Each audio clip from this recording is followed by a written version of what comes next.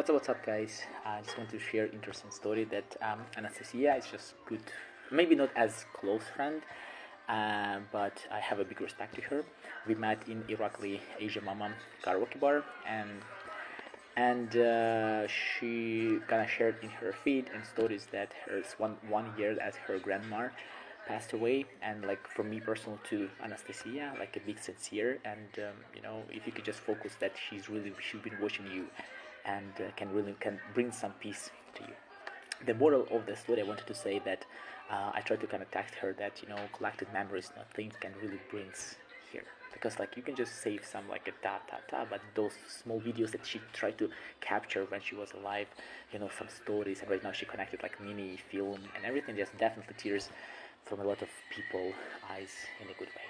So um, hope it makes sense maybe just reminds you a little bit capture the content will make all the difference. Hope you have a good one. Relax